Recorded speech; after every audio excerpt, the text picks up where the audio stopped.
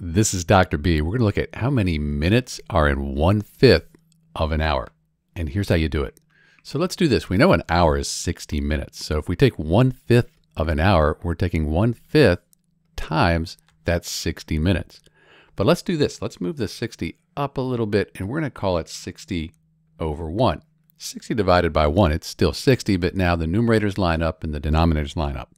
So all I have to do when I multiply these fractions, 1 times 60, that equals 60. 5 times 1, that equals 5. And now I can divide 60 by 5. So you can do it on a calculator or longhand, or you might know that 60 divided by 5, that equals 12. That's 12 minutes. So 1 fifth of an hour equals 12 minutes. If you take 12 times 5, you'll get your 60. So we could divide this up here like this, and that would be one fifth of an hour, 12 minutes. And we could divide this up into five sections. Each section would be 12 minutes, and you add them up, you'll get 60 minutes. That's our hour. So one fifth of an hour is 12 minutes. It's Dr. B. Thanks for watching.